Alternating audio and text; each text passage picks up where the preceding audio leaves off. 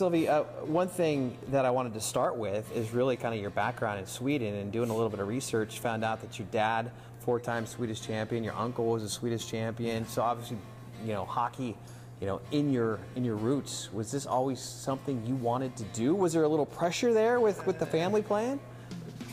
Not that I Yeah. could me- remember, but even so, I'm the youngest of uh, three brothers and a sister too, and all my brothers played hockey too. So it's kind of been running through the family the whole way. And obviously, my when my dad played back in the day, it was kind of you pocket by afternoon, you work in the, in, in, Really? in, Both, the huh? morning. Yeah. So he quit at an early age. He was only 28 or something, 29 when they quit, but he managed to win four championships back home. So I mean, it's always been in the family, and it's always been the biggest support I have by far. So yeah. Your dad was a defenseman.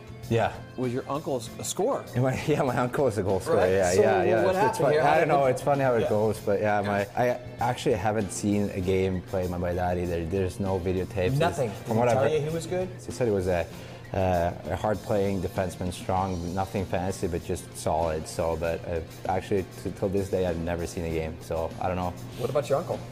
Uh, no, about- sa- same thing there, but I mean, just looking at the numbers, I- I'm assuming. That's he- impressive. I saw some yeah, I too. know, I'm like, well, that's where you get it from. Yeah, yeah, exactly. I don't know. To take me to July of 2013. Yeah.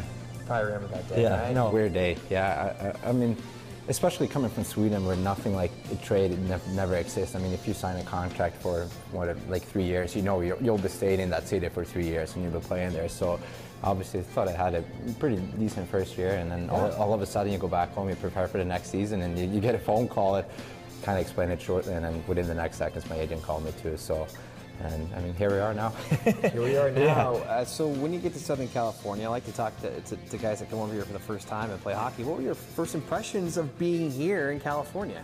I mean, it's same, same thing there. It seems like my first year was a lockout year, right? So we never we never came Right. out here. So it was like first time at all that I've been to, to the West Coast, right? And I was talking to Decal, that was my captain, Andreas Decal. He told me like it's six lanes on the highway both ways, and I'm, I'm coming from a small town where like you only go like the 25 miles per hour roads, there's no highway really, and I was kind of like.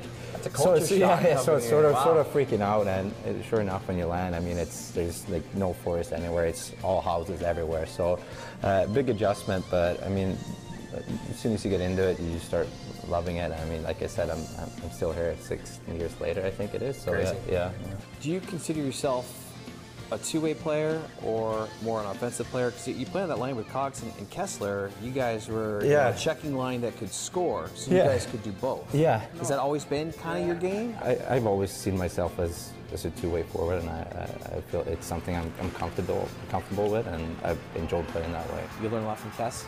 Too, yeah, the way yeah, that he yeah. plays, 'cause he plays that and- way. Yeah, and obviously there's. I don't think there's any guy in this team that that like works harder and puts more pride in, in really like making it hard for other team's top guys. So it's that's something you'll see every night from him, and it's impressive.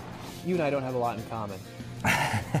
but there might be two things now. Chipotle's one of them Yeah, because I grew up yeah, yeah, Chipotle. yeah. Number two is we're both dads with young kids. How how Yeah. has fatherhood changed you and your perspective of, of this hockey career?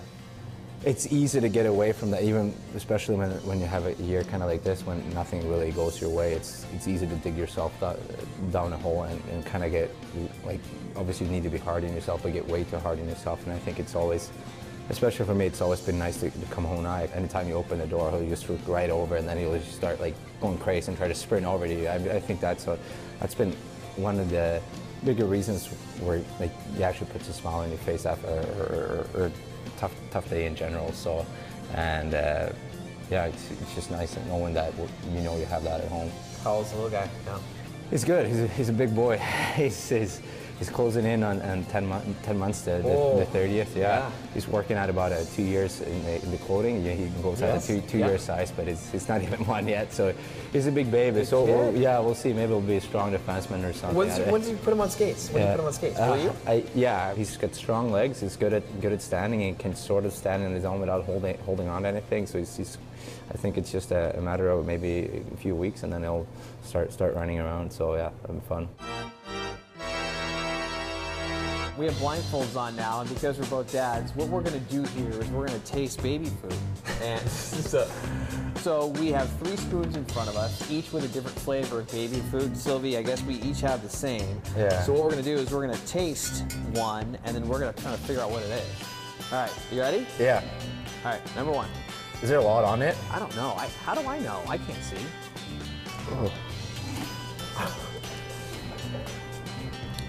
So, is that sweet potato? I'm gonna go with uh, some kind of a kale pear. thing. I'll say sweet potato and mango. You. You don't? Squash. Oh, squash. Squash. Whoa. That's where your sound effects right now. Oh my- I'm afraid to put this in. It's just like eating wood. It doesn't taste anything. It's like paper. Chewing on paper. Oh man. I have no idea. I'm not even gonna guess. I didn't know. Yeah, Maybe like broccoli. Maybe broccoli. I don't know. Ugh. Doesn't taste good. I'm gonna say like peas. Peas. Oh. really? That's it. Oh, I got Third peas. one. Is this the third one? Yep. This better be sweet. It'll be like chocolate or something. They eat this, the babies? Oh my god. I feel bad for them. It's like sour. Oh. It's some kind of an applesauce. Sour, sour apples? I don't know. What is it? What was that last one? Carrots. Carrots. Doesn't taste So with much sweet though. carrot. Now let's uh, let's get into this. The cool part is uh, five-year deal.